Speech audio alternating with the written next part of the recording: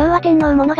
星に、第二次世界大戦という激動の時代を生き抜いた昭和天皇のシナリオ。この時代はおめえの国悪さするから戦艦の数こっちで規制させてもらうからってなって、じゃ国連なんか脱退してやるわってなっておめえのところに油なんか絶対渡さねえってなって、じゃもう数軸国と組むしかねえなってなってからのアメリカによる薄い本を厚くする展開に対して、何かアイドル作って国民全員洗脳して全員回転か神風させちゃおうぜ。という感じのマップをめいた政治情勢だったからね。例えば天皇ってのが表に出てきたのって大体徳川慶喜の時代の長州征伐あたりから、天皇が歴史の表舞台に出てくる感じでそれまでは、一応形だけは存在するけど、将軍とか内政に口出しすんなやって感じだったんだよね。それが戦中に一気にアイドル化させてお国のためにとか天皇陛下万歳とか熱狂的な玉ねぎをある程度量産できたり今でもガチオタが結構な数存在するから、国を挙げてアイマスしたら結構国としての接着剤みたいなのって作れるんだなって思ったのぜ。ラーマ旧姓とかタイでクソ人気だったけど息子のワチラーロンコーンは俗物的なクズって感じで対応性ってもう解体してよくね